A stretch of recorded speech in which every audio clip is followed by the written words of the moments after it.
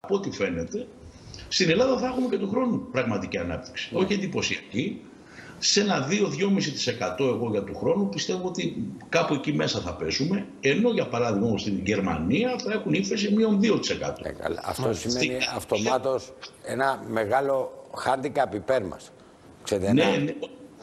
Κατα... Δεν και τόσο το handicap. Ναι, λέμε ότι για την Ελλάδα 2,5% ρυθμός ανάπτυξης αυτή τη στιγμή όταν παγκοσμίως υποχωρούν όλα τα δεδομένα ε, είναι, ναι, είναι, είναι πολύ μεγάλο άλμα. Ναι. Πολύ μεγάλο άλμα και, και, και, στο όριο ας το πούμε, πώς να το πούμε, του, του εντυπωσιακού. Και εδώ βοηθά ο τουρισμός έτσι.